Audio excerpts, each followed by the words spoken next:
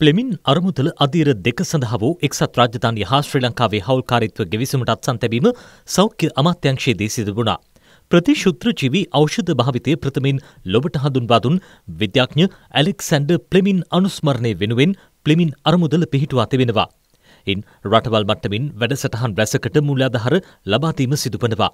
ශ්‍රී ලංකාව තුළ අදාළ අරමුදල සම්බන්ධ ක්‍රියාකාරකම් ලෝක සෞඛ්‍ය සංවිධානයේ ශ්‍රී ලංකා ශාකාව සහ සෞඛ්‍ය අමාත්‍යංශයේ ප්‍රධානත්වයෙන් විනිවිධ භාවයෙන් සිදු කරනු ලබන්නේ අදාළ අනිකුත් අමාත්‍යංශ හා ඒකාබද්ධ වෙමින්.